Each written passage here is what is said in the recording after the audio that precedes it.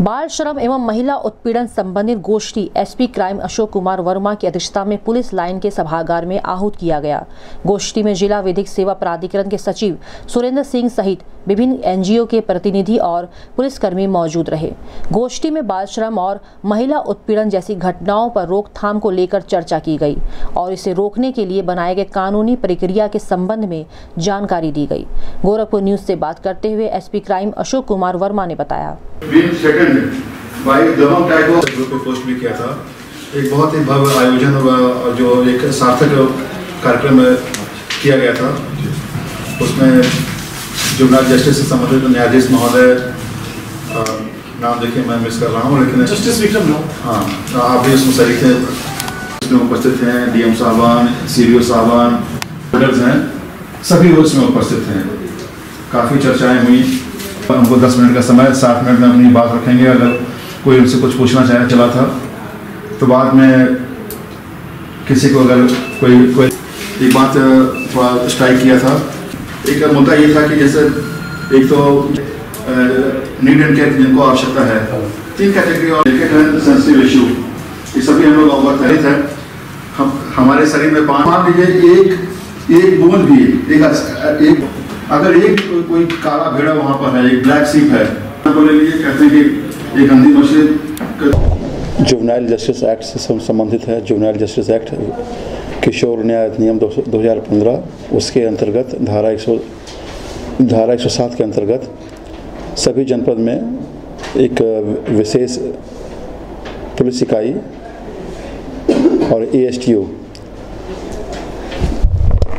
ये आपका S special juvenile protection unit special किशोर संरक्षण यूनिट और एक S T O anti trafficking anti human trafficking unit से संबंधित, जिसमें जो बच्चे हैं और जो महिलाएँ हैं,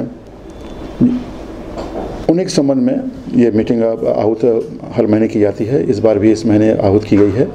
इसमें इस न्याय व्यवस्था से संबंधित जुवनाइल जस्टिस से संबंधित जो भी विभाग हैं, बहुत ढेर सारे विभाग हैं एन हैं जीआरपी हैं, आरपीएफ हैं एन काफ़ी लोग हैं, सभी इसमें वो सम्मिलित हैं।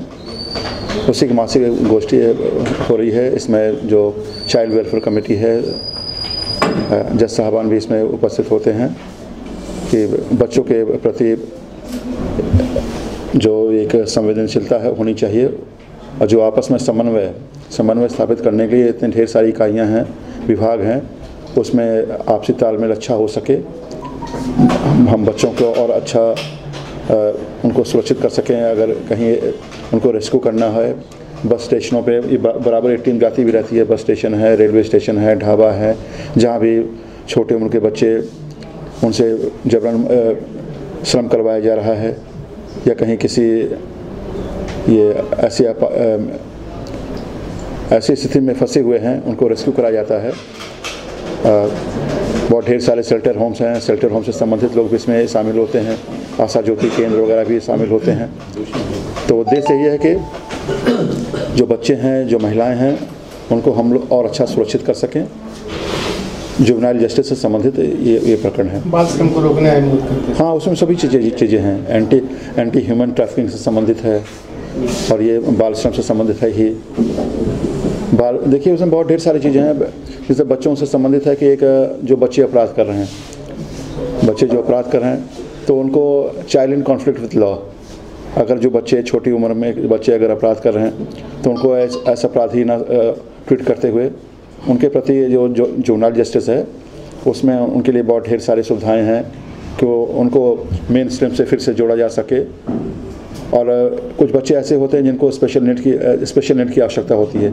कुछ बच्चे ऐसे होते हैं जिनको नीड एंड केयर की आवश्यकता होती है।